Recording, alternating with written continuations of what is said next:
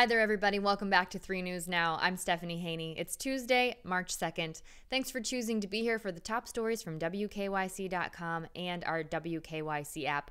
We start off with news related to the Tribe organization with another report from The Athletic about the behavior of former Tribe pitching coach Mickey Callaway. Now, there's reports coming out from The Athletic that it's possible the Tribe might have been aware of some bad behavior on the part of Mickey Callaway that is at least seemingly potentially related to some of the things he's being investigated by Major League Baseball for. So we'll start with what's happening today and then give you a refresher on what happened in the past. Previously, Tribe President Chris Antonetti said he was unaware of any inappropriate behavior on the part of Callaway until reading a report that came out in February.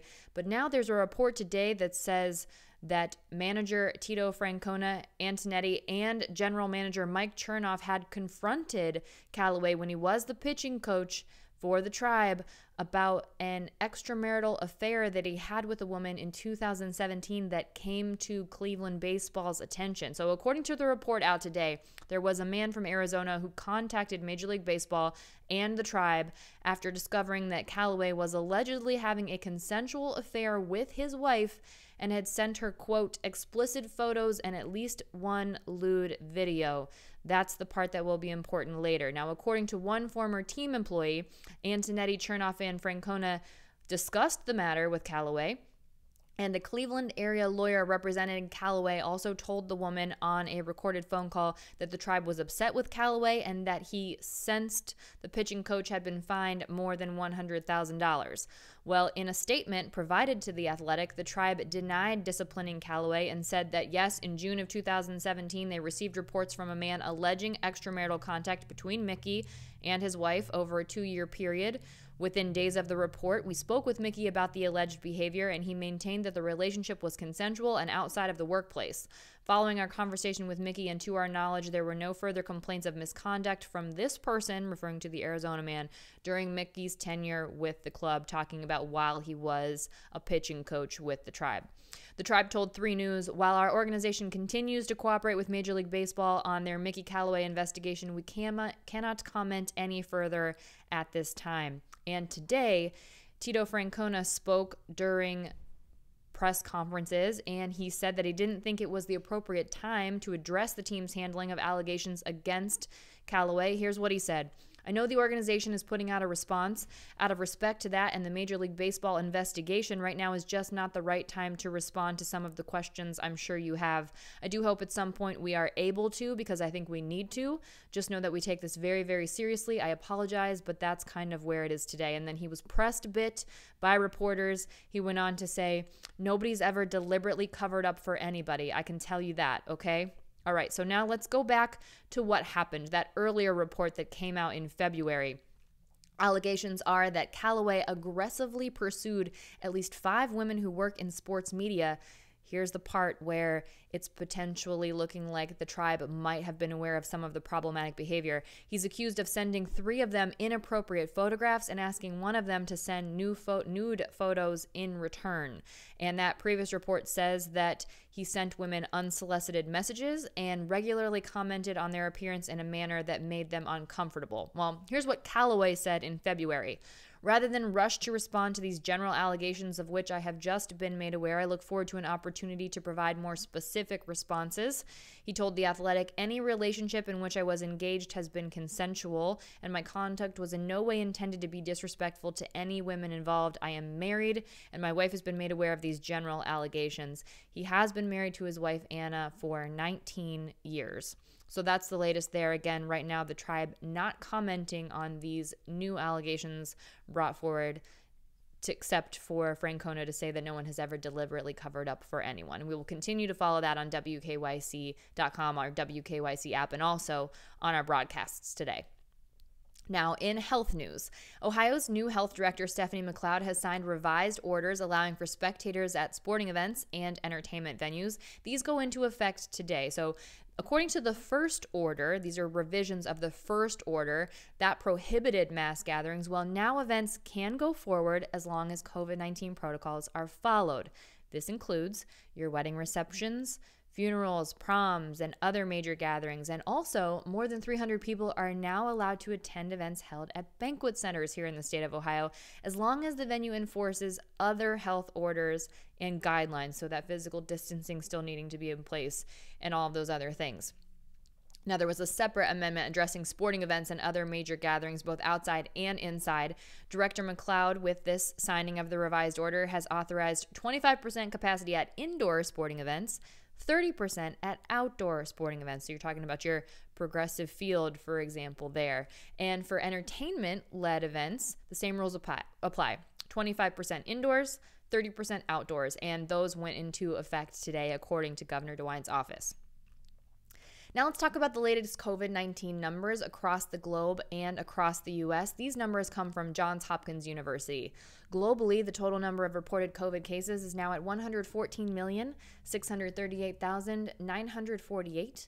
The total number of reported COVID deaths is now at 2,543,271 and we maintain a significant lead in the number of cases and the number of deaths here in the US compared to the global level. We've got 4% of the global population, but we have 25% of the COVID 19 cases and 20.3% of the COVID 19 deaths.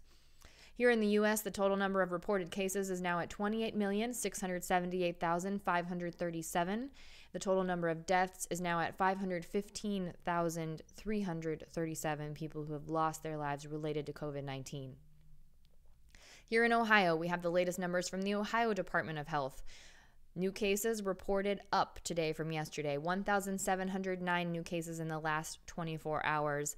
The data not yet available on the number of new deaths reported in the last 24 hours. But taking a look at the most recent percentage of COVID 19 tests that have come back positive, we take a look to Sunday, where 4.3% of about 16,000 COVID tests came back positive, so just under 700 there. And our seven day average has dropped. Again, it's now at 3%, which is below that World Health Organization recommended threshold of 5%. Some good news there. Now, in the last 24 hours, there have been 121 new hospitalizations related to COVID. That number is up from yesterday. The total number of people in the hospital, though, is down from yesterday. And if you remember yesterday, we had the first increase in this number in two weeks, but back down again today to 1,131 people being treated right now in the hospital for COVID 19. And right now, there are 295 people being treated in the ICU out of that group of people. That's no change from yesterday, but we have seen 12 new ICU admissions in the last 24 hours. Taking a look at vaccinations here in Ohio right now, almost 939,000 people have been completely vaccinated. That's just over 8% of the population and 26,000 more people in the last day. This is as we wait for those single dose shots to arrive here in Ohio from Johnson & Johnson, expecting hopefully 100,000 of those this week.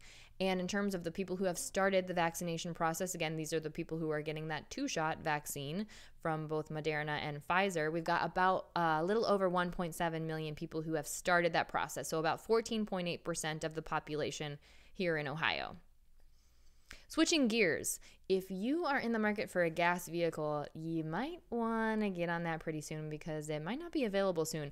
Volvo has now announced that they will only be making electric vehicles by 2030. This is the latest automaker to make this commitment, and it's something that we're seeing picking up steam. Automakers around the world are really ramping up producing electric vehicles and this is happening because governments are imposing stricter pollution regulations. So, Volvo, which is a Swedish automaker, said it's phasing out production of all cars with internal combustion engines. That includes hybrid vehicles.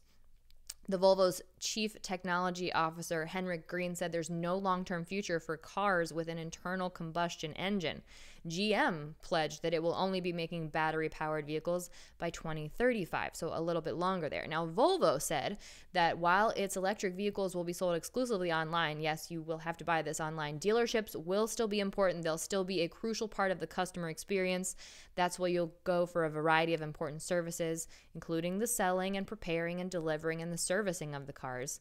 But here's an, just a quick window into how quickly this will work for you. Remember, Volvo said only electric vehicles by 2030. Well, it's 2021 right now, and they're only just now unveiling their second fully electric car. This is a follow up to last year's XC40 Recharge, that's a compact SUV.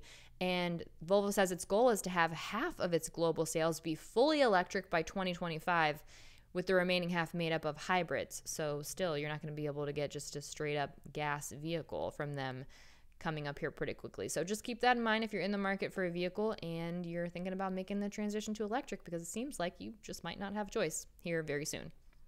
Now, We've been talking about what the Cleveland Browns will do in free agency, and today we're taking a look at the top cornerback contenders. This is analysis from our 3 News sports analyst, Ben Axelrod. Here's two potential prospects. One is William Jackson III from the Cincinnati Bengals. We looked at a prospect from the Bengals yesterday for the defensive end position.